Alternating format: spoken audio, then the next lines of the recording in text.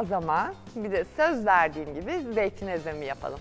Zeytin ezmesi zeytin ezmesi dedik. Yapımı çok kolay 2-3 dakika kadar. Peki önemli bir püf noktası var mı? Kesinlikle var.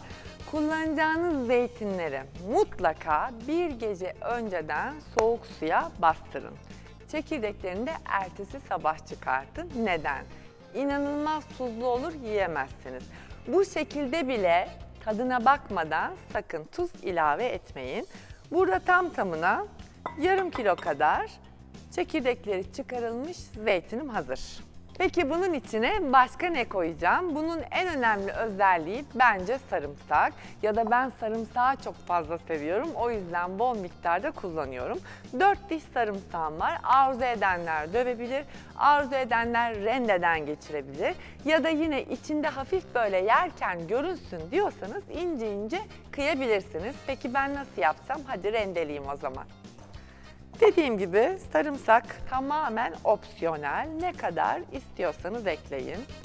Ben böyle bir zeytin için kesinlikle 4 orta diş ekleyeceğim. Bunlar aslında evde yapımı çok kolay, çok pratik ekmek üstü lezzetler. Niye diyecek olursanız mutfak robotunuz varsa yapmanız sadece 2 dakika.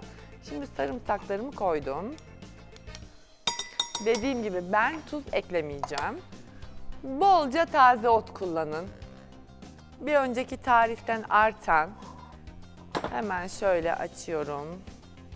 Biberiyelerimi aldım. Göz kararı bakıyorum. 500 gram zeytin için bence 3 dal yeterli. Biraz da üstüne koyarız. Yine bunu da acuka gibi, bol zeytinli gibi, bol e, zeytinyağı içinde saklamanız gerekiyor. Bugün günlerden kahvaltı deyince konu zeytin oldu. Çok mu çok seviyorum çünkü. Şöyle biberiyelerimi aldım. Biberiye çok güçlü bir baharattır. Eğer daha doğrusu taze ottur. Eğer daha önce denemediyseniz lütfen tadına bakın. Oranını ona göre ayarlayın. Ben çok sevdiğim için göz kararı dolduruyorum. Ama olmazsa olmuyor. Bilginiz olsun. Ayrı bir lezzet katıyor. İnce sapları alıyorum yine kekiklerde. Bence bu kadar yeterli. Bunları da ince ince kıyacağım. Şöyle önce bir bir araya getirelim.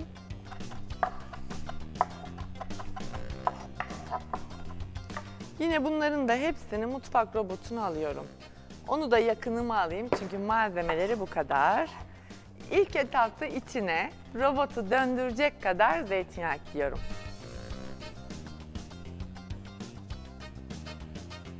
Bütün malzemeler bu kadardı. Bana kalan sadece düğmeye basmak. Basalım bakalım.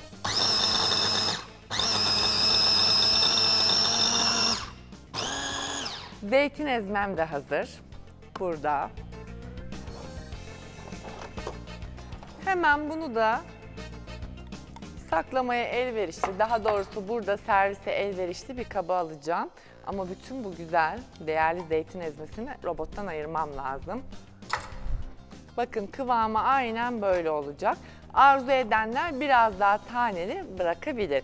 Peki serviste ne yapacağız? Üzerine birazcık daha zeytinyağı, kırmızı toz biber ve limon unutmayın.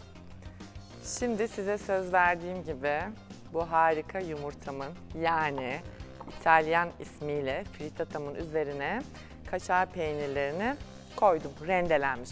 Bu şimdi fırına gidiyor 180 derecede sadece peynir eriyene kadar pişecek. O fırına gitsin ben de reklamlara gidiyorum. Reklamlardan sonra bu harika lezzetlerin hepsi burada olacak. Şimdi sırada zeytin ezmem var. Onu da hızlıca servis yapacağım. Bakın kıvamı aynen böyle olacak. Sürülebilir. İçinde zeytinyağı olduğu için buzdolabında donar. Hemen çıkarttığınızda 5 dakika içinde açılır. Mis gibi kokuyor.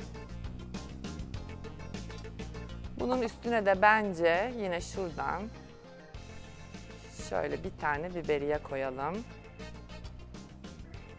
Biberiye bile zeytin ezmesiyle buluşmak için heyecanlandı. Ben bir de bunu limonla servis etmeyi çok seviyorum. Şöyle küçük bir dilim limon alacağım. Bol sulu kısmından hemen tabağın kenarına iki tane de limon koyalım. Hepsi hazır.